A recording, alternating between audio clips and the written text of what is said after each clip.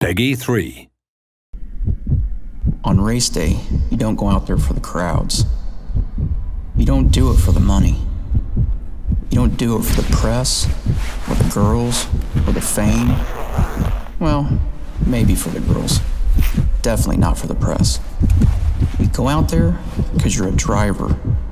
You love what you do. You live for the feel of tires on the track. The way the torque body slams you against the seat.